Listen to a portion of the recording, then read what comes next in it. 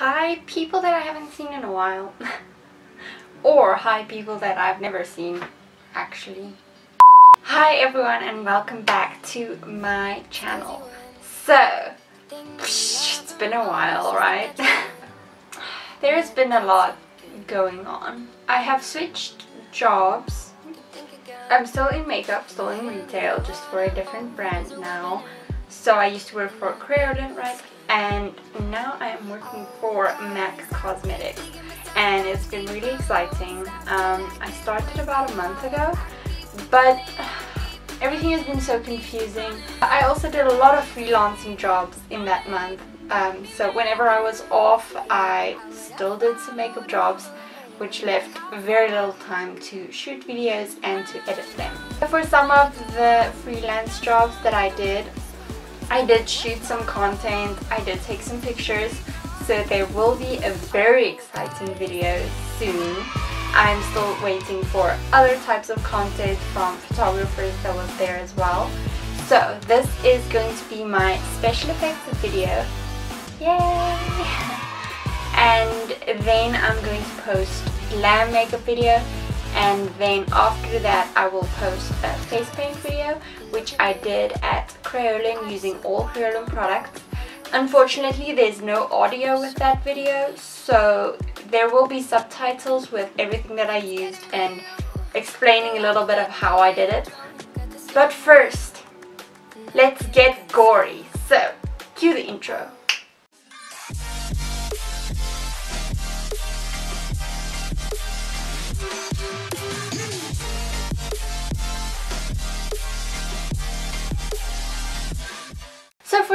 Gory video, I am going to do two types of cuts on my face. I'm going to be using two different types of materials for the cuts. For the one, I'm using a special effects wax. It is affordable, so you can just try these if you're a beginner and experiment with what you like. And then for the other material, I'm going to use um, the special effects silicone. This is one of my favorite materials to use. Let's start with the plastic or the wax one. I'm just going to take a little piece out, so I'm just making this into a long piece like this. Please ensure that the area you're working on is clean, otherwise the wax may have some trouble sticking to it. Let's the side of my face. So then I like to apply it and you press down to blend the edges into your skin. With When you are working with wax, please ensure as well that it's not on a very movable area. That's why I chose my cheekbone because if you choose like an area here where there's constantly movement, it can crack and fall off. Usually used in stage makeup or if you have a really low budget on a film. I'm just using my fingers to blend the edges. It's crazy when the thing you love the most is the detriment. Let that sink in. So this wax is blending pretty easily. If you have some trouble blending the wax into your skin, you can also use a little bit of Vaseline just help blend the edges so now I'm going to use my cake decorating tools. I have these two. I usually use one of them, so I'm using the sharper one just to create a cut basically on my fake skin. It also looks a little bit more realistic if you taper out the edges so that it doesn't just stop in the middle. A nice trick to learn is if you want this wax to last a little bit longer, you can take a sponge with a little bit of liquid latex and press it onto the wax to set top. I'm using my Ben Nye Ultimate Special Effects palette. So this is the cream-based palette that I've used before. I'm taking a little bit of this bright red with just the one next to it. And for special effects, I really like using my hands. So I'm using my fingers. So I'm using the bright red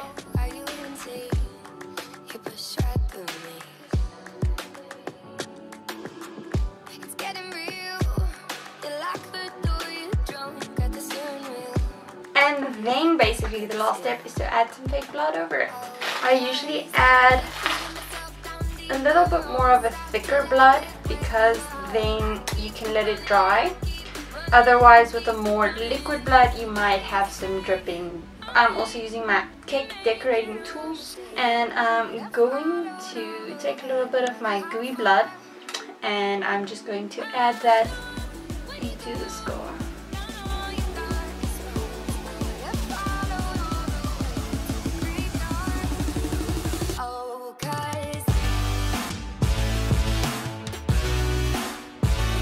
And that's about it. For a pretty basic scar, you don't need anything else or anything more. I'm going to do the silicone based scar. With the silicone, you basically have a part A and a part B. So I have, this is the part A and this is the part B. So you mix a little bit of part A with a little bit of part B. You wait for it to set. I'm just going to use the back of my hand to mix these. Please ensure that the silicone you're using is skin safe. And also a nice trick if someone is allergic to liquid latex, you can also use silicone as an alternative. I'm going to start with a little piece and build up.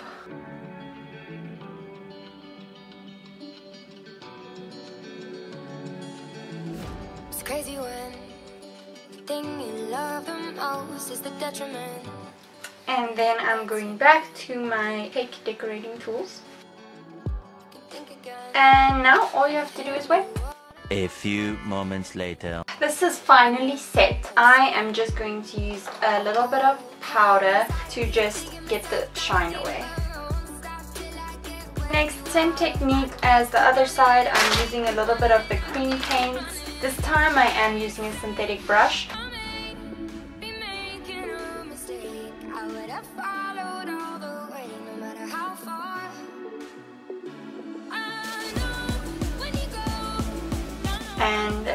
I'm also using the sticky blood again.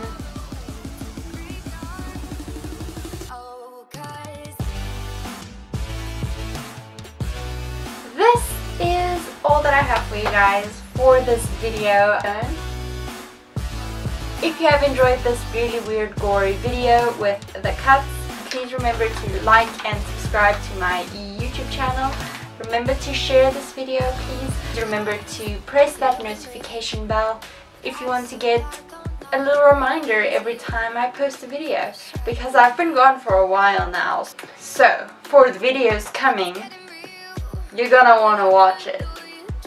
So please remember to click the little bell. So I hope you guys enjoyed this video and I'll see you guys next time. Bye.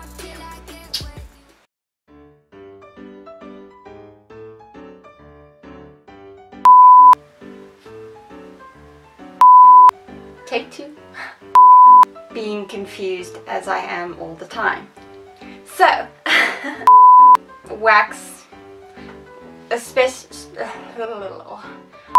so I'm just going to uh, take a little bit of my special effects, give me a second, cream based, let me find my spatula first of all, and this is the Part B. You still have to be safe with your skin or your client or whoever you're working on, even yourself. So be safe. So this is a bigger cut than I anticipated, but that's okay as well.